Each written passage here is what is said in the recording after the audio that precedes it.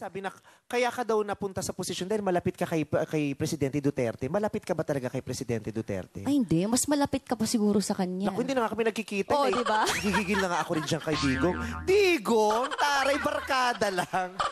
barkada. So, hindi, hindi, hindi kayo, hindi kaya na kaya ka nabigyan ng posisyon ng ganyan dahil malakasan, wala namang ganon. Ay, hindi, hindi. Tapos, yung sinasabi mo kanina mga advokasya, ano nga ba itong advocacy sa, sa telebisyon na gusto mong ano, ah, i-achieve? Yung ah, mawala na ang soft porn sa TV. Ano ba ibig sabihin nun? Ito, opinion ko lang ito.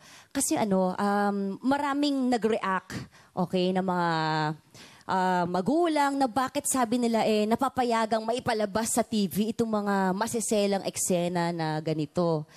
Pwede naman yung may love scene, pero dapat, sabi nga doon sa guideline ng MTRCB, hindi dapat gratuitous o yung Ano ibig sabihin yung unnecessary, prolonged, yung alam mo na pinapatigas lang ang iyong mga kalamnan. Pwede namang artistic eh, di ba, na ipakita, nag, nag-love scene, pero hindi kailangang babad doon sa eksena na yon. Yan, yung salitang yan, pwede yan sa TV, yung nagpatigas ako ng kalamnan. Oo, eh, kalamnan lang naman, di ba? Ibig sabihin, ano ba yun? Oo, ayun, pwede yan, ha? Halika na, manood na tayo ng GGB at magpatigasan tayo ng kalamnan. Yung gano'n. Carry on.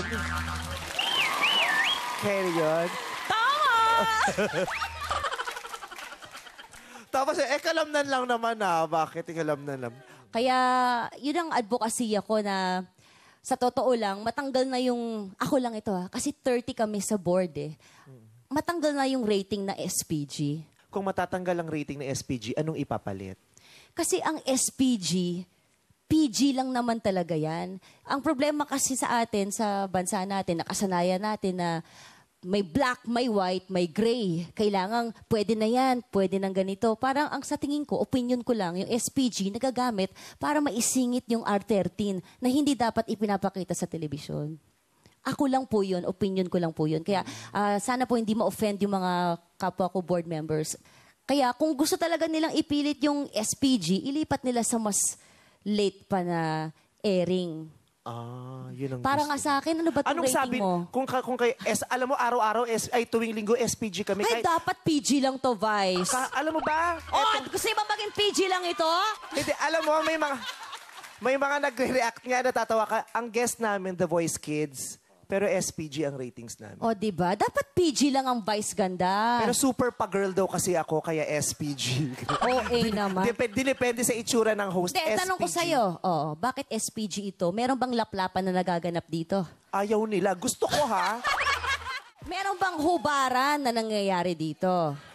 Meron? Ah, madami. Sa lala, lalaki. Hindi. Natural Lalaki. nudity ang tawag doon. Pasado pa sa PG Pag sa yun. lalaki. Oo. ay, okay, ay, gusto kong itanong yan. Sa lalaki, hanggang ha, anong pwedeng hubadin? Eh, basta walang frontal.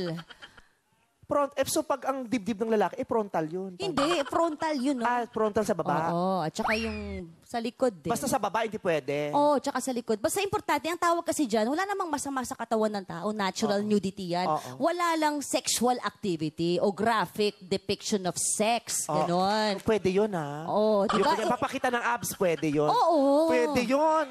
Tapos, pwede kong, moka, pwede ano, kong, ano? Pwede kong ano yung hawakan, tapos bilangin ko kung ilan yung abs. Pwede. Tapos di ba kasi minsan may mga lalaking may amoy yung puso. Pwede Oh. yung pwede yung amuyin ko yung puso. Paamoy, pabango naman. Inamoy mo lang. Yo, oh, pero hindi ko dinikit yung Oh, ilong ko. hindi. Oh, Inilap. okay lang yun. Pwede. Pero teka lang, Vice, ha? Vice, Oo. doon sa board member, ha? 30 kami. Mag-isa lang ako doon. Pero ipaglalabang kita. Ikaw na lang mag-review yung sa amin. Ako na i-assign. Hindi, pero... Kasi, kasi minsan nagugulat din ako. Ang kausap ko yung The Boys Kids, maliliit na bata. Pero SPG yung ratings Kaya nga, ko. para sa akin, PG pa rin ito dahil meron bang violence dito, meron bang horror. Oh. Negi, pag dalawa na kami ni Negi, horror na. Pag mukha ko lang, violence. Pag dalawa na kami ni Negi, horror kami. Ayan. At, Hindi ah, tayo pwedeng magsanib, anak. Isa lang talaga sa atin na pwedeng mak... Tingnan mo, ayan. pa- Pag binoboto ni Direk, a- ako lang isa, tapos ikaw lang. Ayan. Ba- violence lang din yan. Oh, pag ako lang, to violence. Oh, pag dalawa tayo, horror. Nakakatakot na yan. Okay lang naman, basta mild. Mild lang naman yan eh. Eto na. Since sa MTRCB, di ba nagre-rate talaga kayo, di ba? At nagre-regulate.